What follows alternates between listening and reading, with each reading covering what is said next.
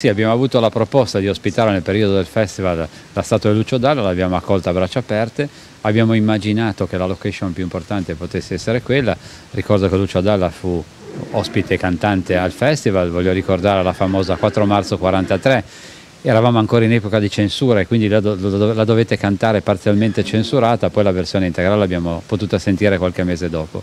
Eh, è una cosa importante, ritengo che si possa fare cultura anche in questo modo.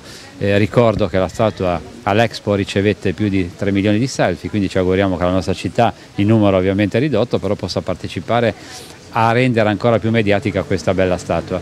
Ringrazio lo scultore che ha voluto premiare la nostra città con una permanenza seppure solo di un mese di questa statua e abbiamo raccolto dalle sue parole la volontà di scolpire la statua di Domenico Modugno che sicuramente ha lanciato il festival negli anni 50 la quale dovrebbe essere poi invece donata alla nostra città e quindi dovremo cercare poi una location adeguata ad ospitare Domenico Modugno.